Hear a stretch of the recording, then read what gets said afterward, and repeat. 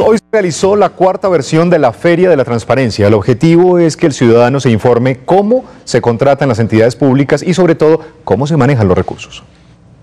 En el marco de la Alianza Medellín-Antioquia, las entidades públicas exponen sus procesos de contratación y manejo de recursos en la Feria de la Transparencia.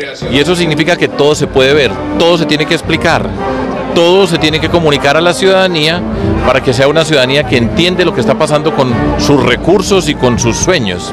Entonces la Feria y la Transparencia, en este caso particular, es la forma como se muestra todo lo que tiene que ver con la contratación. Los proveedores, las reglas de la contratación, dónde se adjudica, por qué se adjudica, cómo se adjudica y que lo puedan entender todas las personas. En el caso del municipio de Medellín, se destaca el reconocimiento a la ciudad con la certificación de auditoría otorgado por el Instituto Internacional de Auditores y Medellín es el primer entre territorial de América Latina. No hay ningún país, ninguna gobernación, ninguna ciudad, ningún municipio de América Latina distinto a Medellín certificado por esta institución